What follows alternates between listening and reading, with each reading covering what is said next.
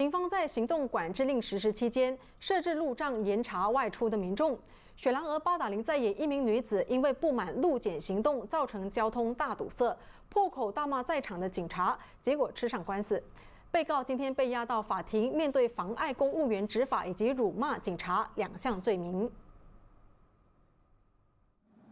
四十四岁的唐姓被告是一名销售业经理，控状指他在三月三十一号早上九点四十分路过雪兰莪哥打白沙罗苏里安路时，遇上警方执行路检任务，路上大堵车，一时情绪爆发，辱骂警方人员，结果被控抵触刑事法典第一八六之妨碍公务员执法，以及一九五五年轻微罪案法令第十四条文，以粗言秽语谩骂警察两项罪行，被告不认罪。第一项控罪，最高刑罚是监禁两年或罚款一万令吉，或两者兼施。至于辱骂警员，最高刑罚为罚款一百令吉。法庭准许被告以四千令吉外加一名担保人保外候审，案件定在五月二十号过堂。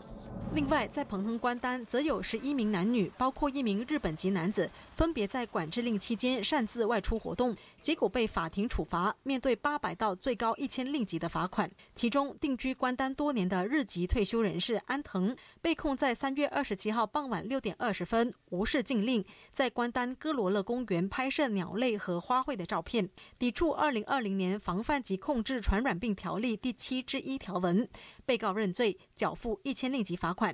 其他十名男女被告也因为外出溜达，理由牵强，个别被罚款八百令吉到一千令吉。马新社电视采访报道。